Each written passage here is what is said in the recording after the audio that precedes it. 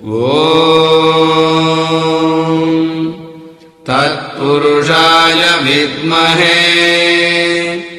सुवर्णपक्षाय धीमहि